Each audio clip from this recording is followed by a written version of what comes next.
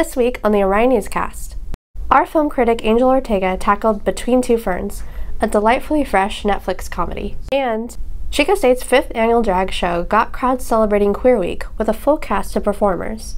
But first, men's soccer lost to Cal Poly Pomona by 1 0 with four minutes left to play. Hi, this is Wesley Harris, a sports reporter for the Orion. Today we're out here covering Chico State men's soccer versus Cal Poly Pomona. And today there's some real competitive action, really good game. Unfortunately, Chico came up short, losing 1-0 late in the game with four minutes left to play. Um, Cal Poly Pomona sneak one into the left post. And for our post-game interviews, we're fortunate enough to interview Alex Fluitt and freshman Noah Ross to give us their thoughts on the game. So would you say this was the most important game for you guys for this for the season? Uh, I mean, every game's pretty important, but this one definitely hurts a little bit. We like to try and beat the best opponents, and right. by track record, Pomona and LA are the best. We just didn't get the goal today. You know, we had a couple that got called back, but um, overall, I thought we did okay. We just need to try and get more goals. Right, yeah. right. Um, what was your reaction to um, being called um, offside? uh, you know, as my friend Dilo would say, you just got to keep applying pressure. They're going to try and take them off, but you know, you got to do what you can to keep applying pressure. I definitely feel like we came off to a strong start first half. I definitely felt like we were on them a little bit.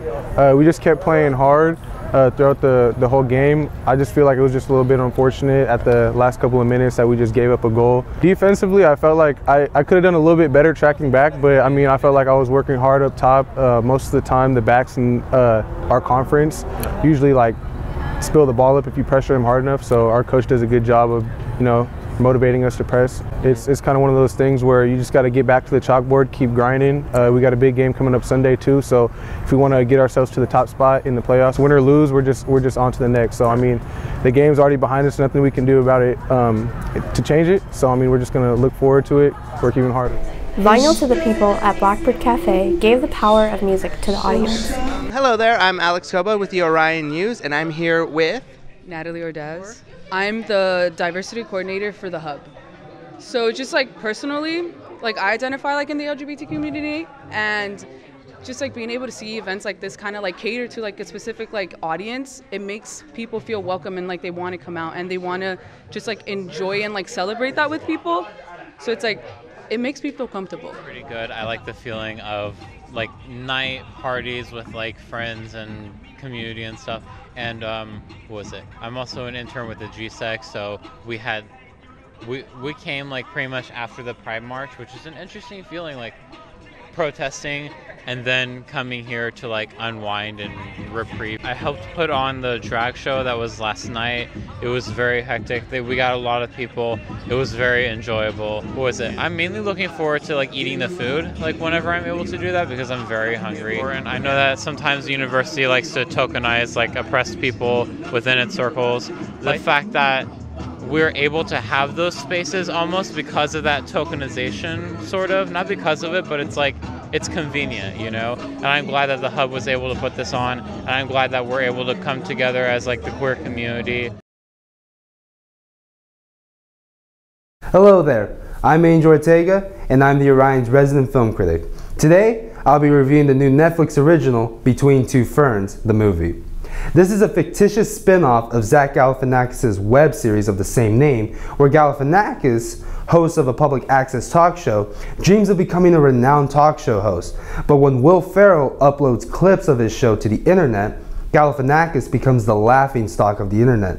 So, Galifianakis embarks on a road trip with his film crew where he interviews high-profile ce celebrities in hopes of restoring his reputation.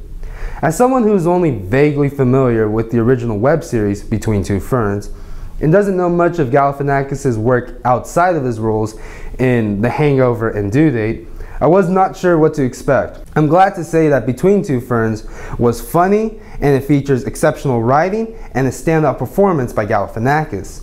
Most of the film's humor, specifically Galifianakis' dialogue, is dependent on deadpan comedy, this complements Galifianakis' delivery and overall comedic style.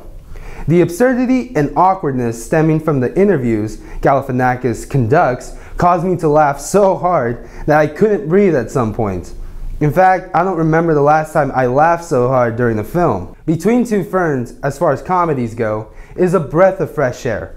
A lot of comedies these days are too dependent on vulgarity, cheap jokes, and getting the biggest names in hopes of selling more tickets at the box office. And often, all we really get are lackluster performances, dull narratives, and jokes or punchlines that fall flat. The last great comedy mainstream cinema has seen is The Hangover, and every big budget comedy since has tried to replicate it both in comedic style and narrative structure. To see a film like Between Two Ferns reject these common practices is refreshing. That's not to say Between Two Ferns is the next hangover, but it is a great and funny movie. I give it four stars out of five.